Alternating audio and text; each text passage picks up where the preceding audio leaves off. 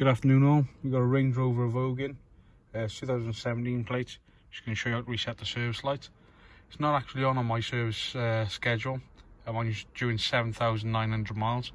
But I'm just going to see if I can reset it and uh, show you how it's done. Um, you've got to open the bonnet, open the driver's door, turn the ignition on. Hold the brake and accelerator down for 60 seconds.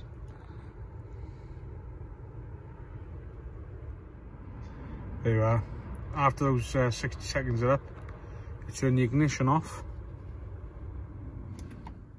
and foot off the brake and accelerator and that should be it guys.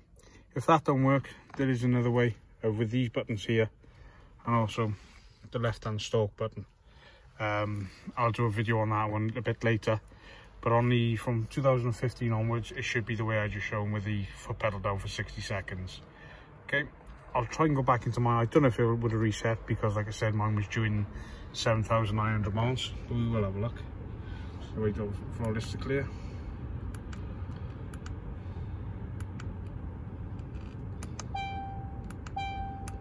Come on.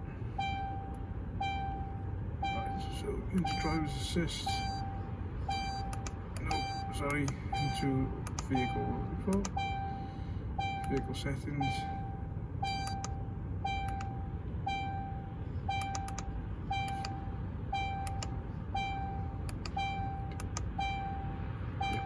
Should service.